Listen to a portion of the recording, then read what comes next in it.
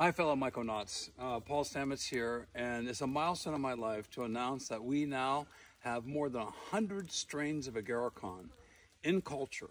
Now, what that means is we take a small piece of tissue from the living mushroom and we put it into petri dishes and then we bank them in liquid nitrogen.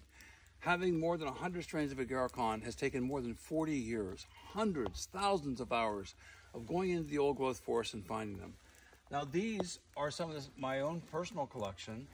Most all of these have come from habitats that were being destroyed by fire or logging, or I found them on the ground, as this case is.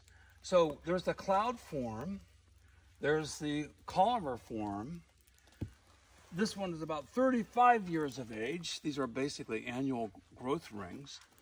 And this is a really big old Douglas fir log, and this one is solid and it's growing. This tree is hundreds of years of age, but we were able to take a culture by taking a piece of tissue from the underside.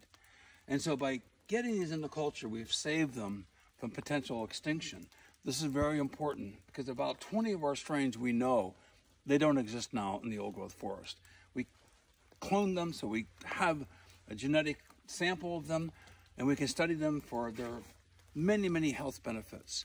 So some of you know about my research with Agarikon going back all the way to my TED Talk in 2008. Please check that one out. So this is a huge achievement in my life. Uh, more than 100 strains of Agarikon.